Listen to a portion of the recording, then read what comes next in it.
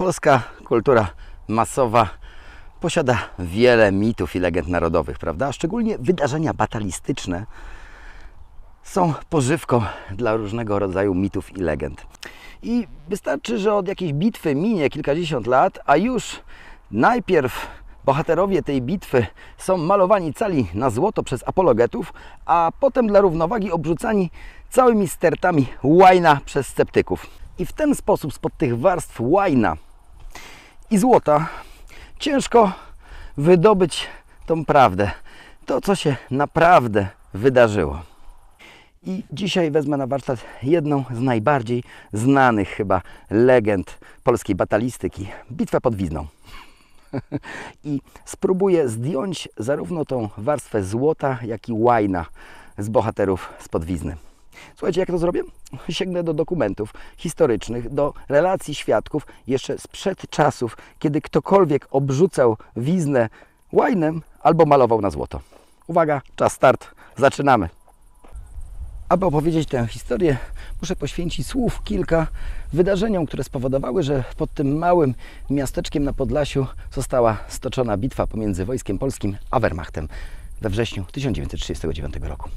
Gotujący się do napaści na Polskę Wehrmacht zdawał sobie sprawę, że zajęcie stolicy Polski będzie decydującą operacją nie tylko pod względem propagandowym, ale także militarnym.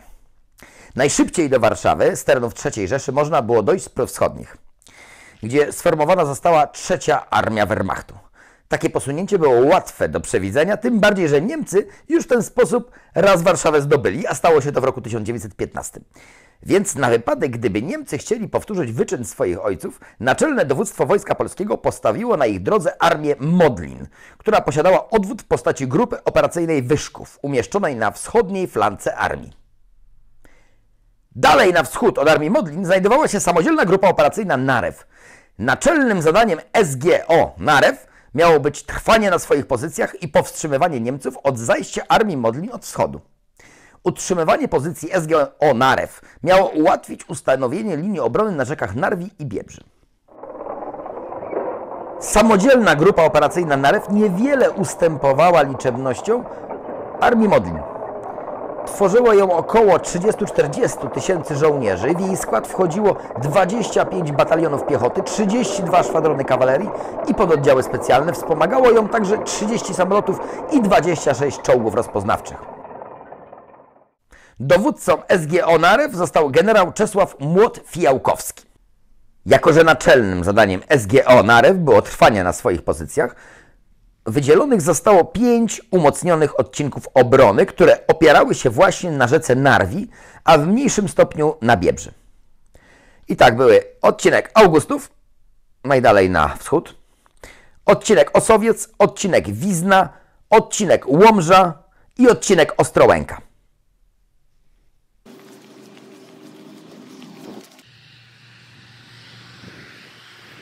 Wszystko wydawało się być przemyślane w najdrobniejszych szczegółach. I kiedy 1 września 1939 roku siły niemieckiej III Armii uderzyły tutaj na Mławę, no, naczelne dowództwo Wojska Polskiego utwierdziło się w przekonaniu, że żadnych niespodzianek nie będzie.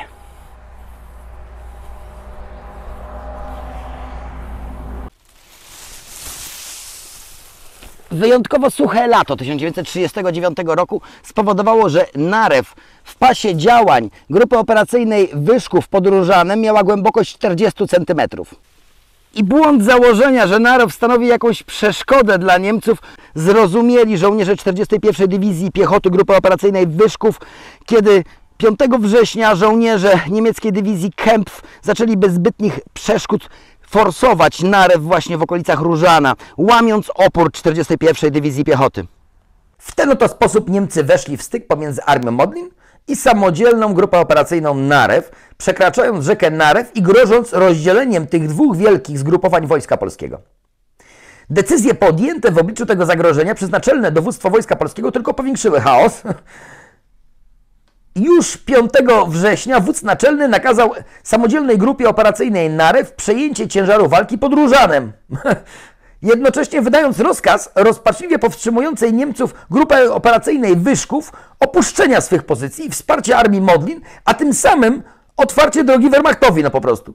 Wobec niemożności wyparcia Niemców z południowego brzegu Narwi pod Różanem, wódz naczelny nakazał generałowi Fijałkowskiemu, dowódcy samodzielnej grupy operacyjnej Narew, wycofanie swoich sił w kierunku południowym.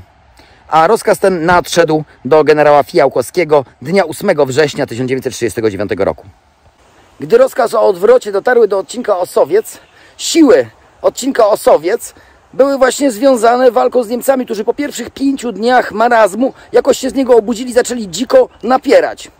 Podpułkownik Tabaczyński, który był dowódcą odcinka Osowiec, jednocześnie piastował funkcję dowódcy 135 Pułku Piechoty, nie krył zdziwienia. Osowiec był starą, jeszcze carską twierdzą, w której znajdowały się wielkie magazyny wojskowe zawierające niesamowite ilości materiałów wojennych, no, które umożliwiały długotrwałą obronę tej twierdzy. No ale cóż, służba, nie drużba. Taki był rozkaz, Tabaczyński musiał go wykonać. Ale wykonanie tego rozkazu było możliwe tylko pod warunkiem zachowania jednostek styczności z nieprzyjacielem, czyli w momencie odwrotu ktoś musi powstrzymywać Niemców, bo jeżeli załoga twierdzy Osowiec tak sobie po prostu z niej wyjdzie, no to Niemcy ich bardzo szybko dogonią. Więc te jednostki, które już związały się walką z Niemcami, muszą tą walkę prowadzić i prawdopodobnie będą spisane na straty, żeby uratować całą resztę wycofujących się z Osowca jednostek, prawda?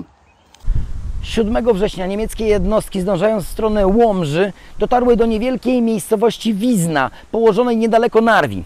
Pod Wizną znajdował się most przez rzekę. Most, który łączył drogę, która prowadziła od Łomży aż do Tykocina i dalej do Białego Stoku.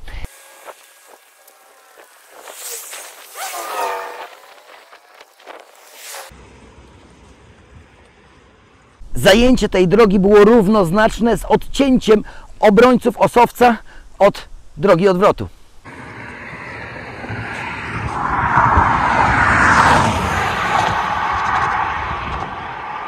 Aby więc podpułkownik Tabaczyński mógł wykonać rozkaz wodza naczelnego wycofania załogi Osowca, przeprawa w Wiźnie musiała być utrzymana.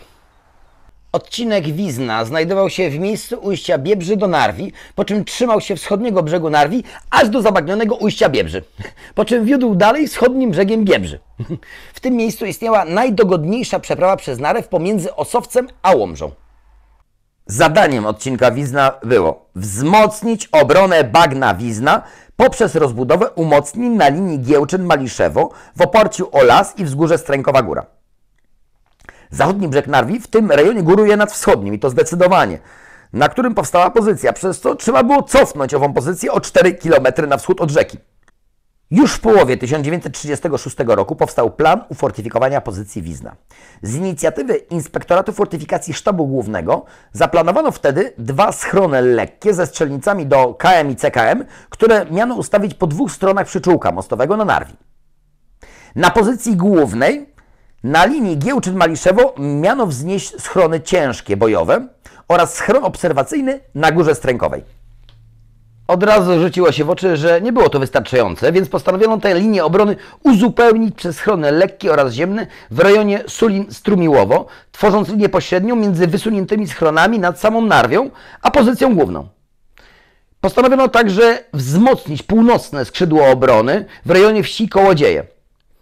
Na załomach szosy prowadzącej w stronę Tykocina Postanowiono także wznieść schrony do zwalczania broni pancernej w przypadku, gdyby Niemcy już przekroczyli samą narew i zdążali w stronę pozycji głównej, czyli taka pozycja przysłaniania jakby.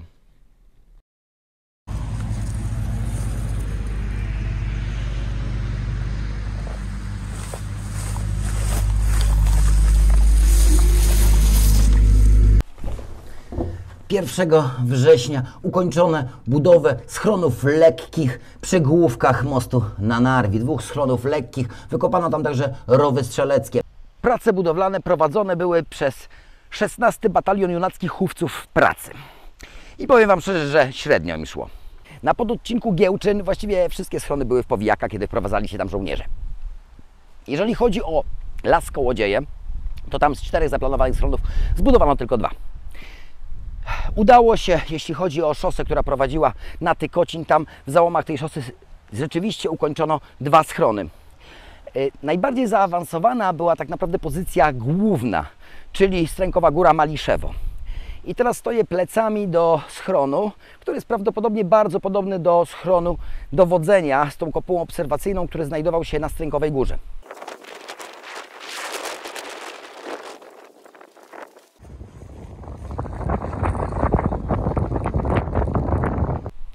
To nie jest oczywiście stron ze Strękowej Góry, ponieważ, uwaga, w 1944 roku Niemcy zniszczyli wszystkie schrony pozycji Wizna i dosyć je do- dokładnie rozebrali, więc tam tylko takie, jak widzieliście, zapewne ogryzki sterczą. A ten schron tutaj to jest po sąsiedzku na odcinku Nowogród, schron nad całą Narwią przy moście i prawdopodobnie tak właśnie wyglądał ten słynny schron Raginisa.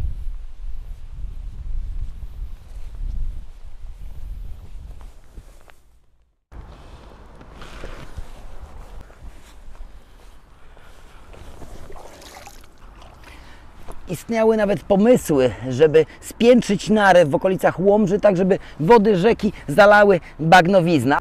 Tylko, że słuchajcie, to był strasznie drogi pomysł, no, budować jakieś zapory tylko po to, żeby zalać tą pozycję, która no, ewentualnie może być zaatakowana, no nie opłacało się. Nie znalazło to akceptacji w sztabie głównym Wojska Polskiego, no i pomysł upadł. Za drogi pomysł po prostu był. Wyobraźcie, taka jakaś zapora tutaj w Łomży, to byłby problem.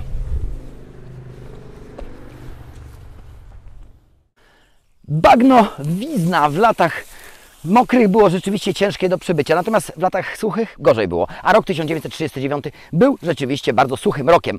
Dlatego więc bagno wysło i było łatwe do sforsowania dla odmiany. Na dodatek wszędzie porosły takie paskudne trawska, wysokie mniej więcej na metr, które zasłaniały pole ostrzału. Niemcy się mogli podkraść tymi trawami, czołgając się po tym wyschniętym dnie bagna bez żadnego problemu. Na dodatek wszędzie było pełno snopków siana, które zostawili chłopi. One też zasłaniały pole ostrzału. Pole ostrzału zasłaniały też szopy junaków, którzy no, postawili te szopy, żeby budować te schrony, których w końcu nie skończyli. A co gorsza, okazało się, że kiedy żołnierze przyszli do tych schronów, w tych schronach nie ma żadnych wentylatorów, żadnej wentylacji. W pomieszczeniach, które miały być szczelnie zamknięte i w których miano strzelać z karabinów maszynowych, no, które produkowały gigantyczne ilości gazów prochowych. Do południa dnia 2 września odcinek Wizna był obsadzany przez 3 Batalion 71 Pułku Piechoty i przez kompanię z batalionu fortecznego Koposowiec. No i zasadniczo był obsadzony zgodnie z dyrektywami tymi jeszcze przedwojennymi. Tak właśnie powinien być obsadzony. Ale wszystko się skończyło właśnie w południe dnia 2 września, ponieważ 3 Batalion 71 Pułku odszedł, a na jego miejsce przyszła zaledwie jedna kompania ze 135 Pułku Piechoty. To była dokładnie ósma kompania z 3 Batalionu 135 Pułku Piechoty, dowodzona przez kapitana Schmidta. Od tego momentu dowodzenie nad całym odcinkiem Wizna przejął kapitan Raginis, dowódca kompanii z batalionu fortecznego KOP Osowiec. Wielu pseudohistoryków do dziś wysila mózgownicę, iluż to obrońców Wizny było. Słuchajcie, żeby to ustalić, to wystarczy umieć czytać, no i liczyć. No dodawać w każdym razie. Pisz. Odcinek Wizna od 2 września był dowodzony przez kapitana Ragnisa Władysława, który pod rozkazami miał następujące jednostki. Własną trzecią kompanię batalionu fortecznego KOP Sarny, liczącą 130 szeregowych i podoficerów i trzech oficerów.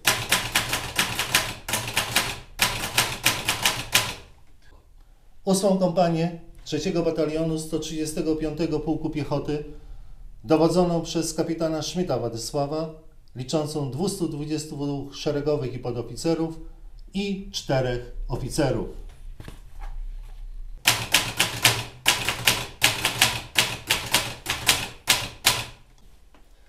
Pluton artylerii piechoty. Z 71 Pułku Piechoty dowodzony przez porucznika Brykalskiego. Stanisława liczący 46 szeregowych i podoficerów oraz dwóch oficerów.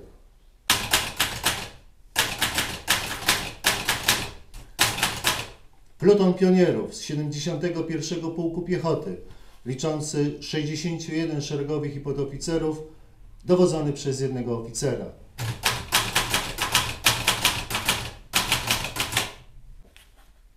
Daje to sumę 469 żołnierzy, szeregowych podoficerów i oficerów.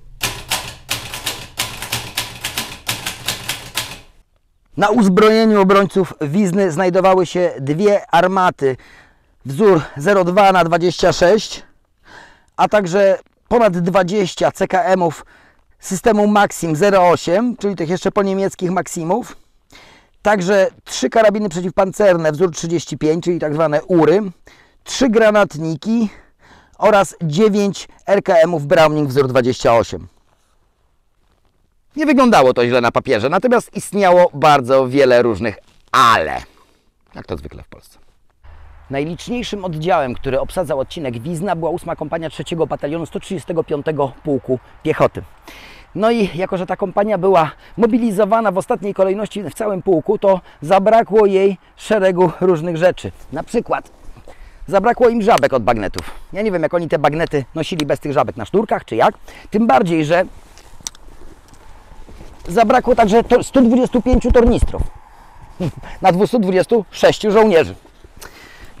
A także zabrakło 125 koców. Co więcej, cały pułk posiadał w rezerwach mobilizacyjnych 20 sztuk pistoletów, a jako, że ta kompania była mobilizowana jako ostatnia, to oficerowie rezerwy z tej kompanii musieli pobrać po prostu karabiny.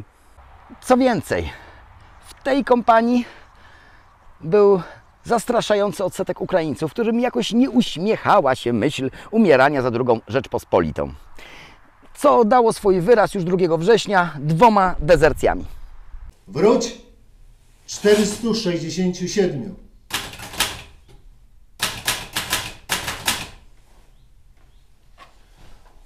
Coraz gorzej. Obsadę bojową schronów betonowych stanowili żołnierze z trzeciej kompanii batalionu fortecznego KOP, którą dowodził kapitan Raginis. Natomiast trzeci pluton ósmej kompanii trzeciego batalionu 135 Pułku Piechoty obsadził stanowiska polowe, które znajdowały się na posterunku nazwanym Czatą, czyli przy samej Narwi. Drugi pluton miał patrolować północne skrzydło główek mostu, a pierwszy pluton miał patrolować południowe skrzydło główek mostu. A, jeszcze jedno. Na południowym krańcu linii obrony znajdowała się taka grupa łącznikowa z sąsiednim 33 Pułkiem Piechoty, ponieważ na południe od odcinka Wizna znajdował się 33 Pułk Piechoty. I to było tak skonstruowane, że po prostu były tam dwie drużyny. Jedna z kompanii kapitana Schmidta, z tej ósmej kompanii 3 Batalionu 135 Pułku Piechoty i jedna drużyna z 33 Pułku Piechoty sąsiedniego. No w ten sposób mieli jakoś zachowywać łączność między sobą. Bo z radiostacjami u Polaków to było wtedy bardzo naprawdę kiepsko. Tak upłynął czas do dnia 7 września do godziny 14. O godzinie 14 przez radiostację w schronie dowodzenia na Strękowej Górze przyszła informacja. Uważajcie, coś na Was idzie. Około godziny 16 dnia 7 września na zachodnim brzegu Narwi było słychać jakąś strzelaninę. To Aufklärung Abteilung 8 czyli 8 batalion rozpoznawczy przy 10 Dywizji Pancernej rozgonił właśnie zwiat konny, który znajdował się w Jedwabnym. Niemcy zbliżali się do Wizny. Na takie diktum kapitan Ragini skazał wysadzić most na Narwi. No nie ten oczywiście, ten jest już powojenny, ale był mniej więcej w tym samym miejscu. W samą porę, ponieważ Chwilę później na wschodnim krańcu Wizny, o tam za moimi plecami, pojawiło się 30 niemieckich samochodów terenowych i pojazdów rekonesansowych. Kilku ciekawskich Niemców nawet zeszło do samej rzeki. W tym momencie ogień otworzyły schrony, które znajdowały się przy główkach już wysadzonego mostu, wypędzając Niemców. Z kolei pluton artylerii z 71 Pułku Piechoty otworzył ogień, który wypędził wozy rekonesansowe i pojazdy pancerne niemieckie. Tyle było wydarzeń dnia 7 września.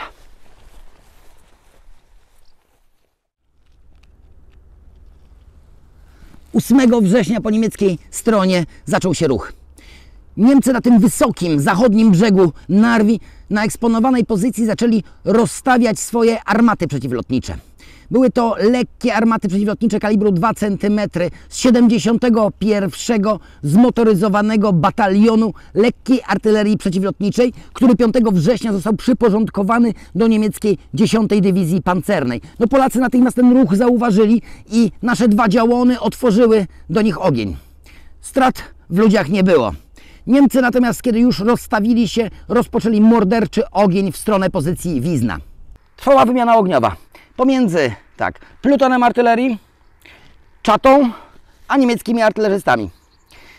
Niemcy wysłali przez rzekę, używając zasłony dymnej oraz no, wsparcia artyleryjskiego, właśnie tych lekkich flaków, wysłali na ten wschodni polski brzeg drużynę szturmową z batalionu pionierów, dokładnie 49 batalionu pionierów.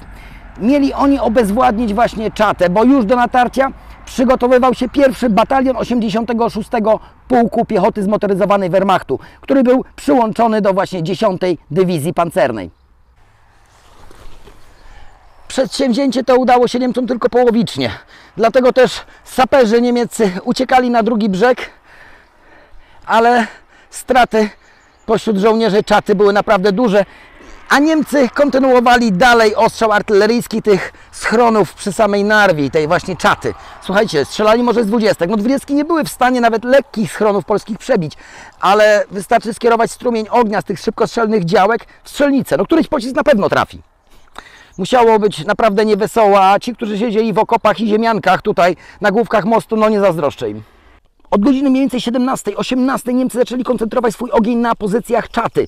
Ostrzał trwał do, aż do zmroku, do godziny 20. Mniej więcej w tym czasie, gdzieś między tej 18 a 20, ten odcinek Wizna był wizytowany po raz ostatni przez podpułkownika Tabaczyńskiego.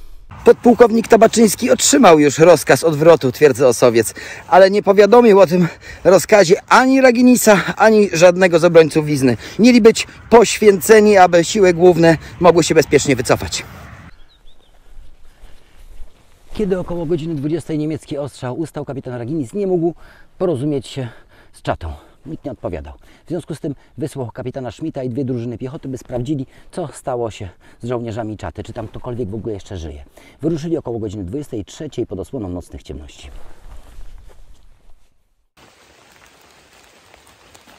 Strasznie tak było iść w ciemnościach. A zrobiło się jeszcze straszniej, kiedy weszli w krzaki. Połowa żołnierzy uciekła kapitanowi Schmidtowi. Szybko ich połapał i kontynuowali marsz. W końcu zaczęli natrafiać na rozbitków z czaty. Byli spanikowani, nie mieli hełmów, płaszczy i karabinów. Kapitan Schmidt odsyła ich wszystkich na tyły. Kiedy dotarli już do polskich pozycji, nosiły ślady panicznej ucieczki. Leżało tam pełno porozrzucanego sprzętu wojskowego i nie było żywej duszy. Kapitan Schmidt z tego patrolu wrócił około godziny pierwszej w nocy i zdał obszerny raport kapitanowi Raginisowi. Kiedy kapitan Raginis otrzymał raport od kapitana Schmidta, nakazał natychmiast zablokować szosę, obsadzić schrony, które znajdowały się w jej osi, a także obsadzić schrony ziemne, które znajdowały się na wysokości miejscowości Sulin. Było oczywiste, że Niemcy nad ranem uderzą.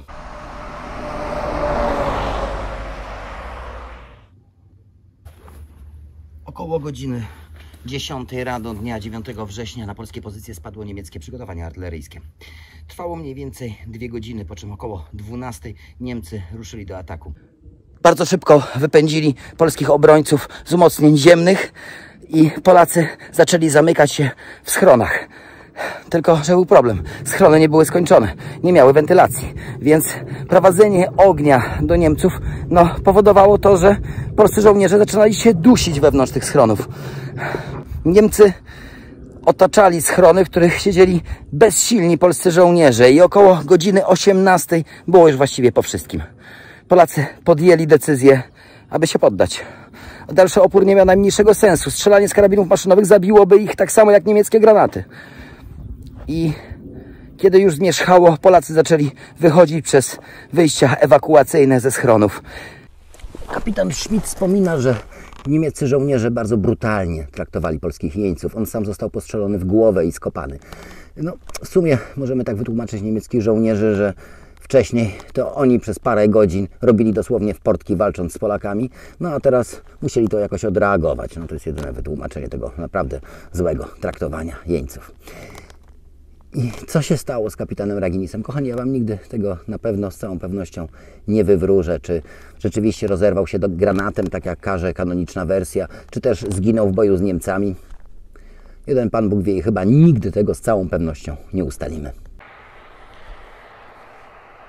Do Osowca powróciło tylko 86 żołnierzy, którzy stanowili obsadę odcinka Wizna.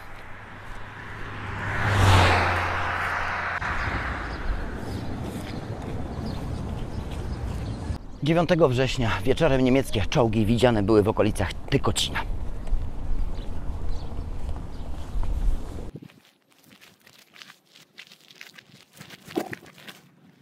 10 września przyszła kolejna zmiana rozkazów.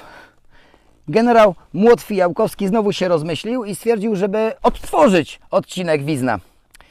Więc w związku z tym podpułkownik Tabaczyński postanowił zobaczyć, co tam dzieje się z jego żołnierzami, których no, porzucił dwa dni wcześniej. O zmroku 10 września w stronę Wizny wyruszył pierwszy batalion 135 Pułku Piechoty. Rankiem 11 września, wyprzedzając kolumny pierwszego batalionu 135 Pułku Piechoty, podpułkownik Tabaczyński dojechał w okolicy Giełczyna. Zastał tam ślady po walce, opuszczono okopy, ale też ślady po obecności Niemców. Kiedy wyjrzał na szosę, widział przejeżdżające szosą kolumny niemieckich żołnierzy. Tak twierdził. Twierdził też, że wydał rozkaz dowódcy pierwszego batalionu, żeby podjął walkę z Niemcami. No ten tej, tego rozkazu nie wykonał. No myślę, że bardzo rozsądnie z jego strony, ponieważ by żołnierze pierwszego batalionu podzielili też los obrońców Wizny. 135 Pułk Piechoty walczył dalej, ponieważ wkrótce przyszła kolejna zmiana rozkazu, która znowu kazała opuszczać twierdzę Osowiec i już nie odtwarzać odcinka Wizna. I 135 Pułk Piechoty swój szlak bojowy zakończył aż pod Wolą Głowską pod rozkazami generała Kleberga. I w ten oto sposób dobiega końca nasza historia o obrońcach Wizny.